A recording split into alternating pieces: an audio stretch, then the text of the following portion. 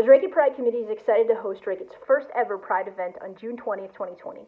On behalf of the committee, we thank you for awarding us this grant and we look forward to our partnership in the future.